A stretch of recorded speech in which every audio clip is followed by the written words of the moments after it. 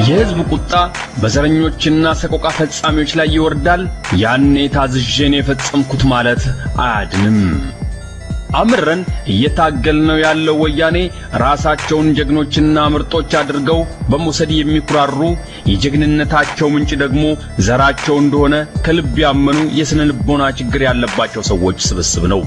እነዚህ ድውያን በውስጣቸው ባለው የትንሽነት ስሜት ምክንያት በአስተሳሰብም ሆነ በሙያ የሚበልጣቸውን ሰው ማዋረድና ማሰቃየት ያስደስታቸዋል።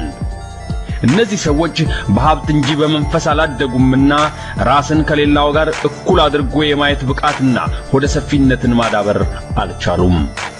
መንግስቴን ለመገልበጥ ሙከራ አድርጋችኋል በሚል በወያኔ ተከሰው እየተሰቃዩ የሚገኙ ወገኖቻችን ላይ አስከፊ ሰቆቃ እየደረሰ ያለው ይኸው ከመንፈስ ትንሽነት የሚመነጭ የስነ ልቦና ቀውስ ነው።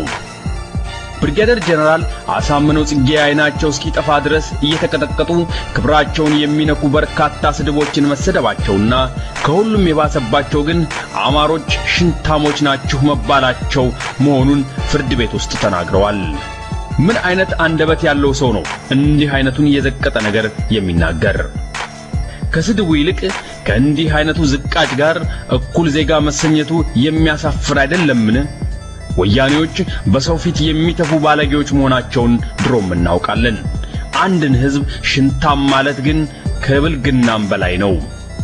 የወያኔ ቅልብ አጋዚዎች በበደኖ፣ በአዋሳ፣ በሐረር፣ በጋምቤላ፣ በጎንደር፣ በኦጋዴን፣ በአዲስ አበባና በሶማሊያ የጅምላ ጭፍጨፋና የዘር ማጥፋት ወንጀል ሲፈጽሙ በተመሳሳይ የጅምላ ስድብ እየተበረታቱ እንደነበር እናውቃለን።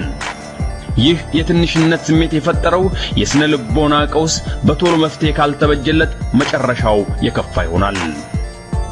ሰቆቃ መፈጸም ዓለም አቀፍ ወንጀል ነው።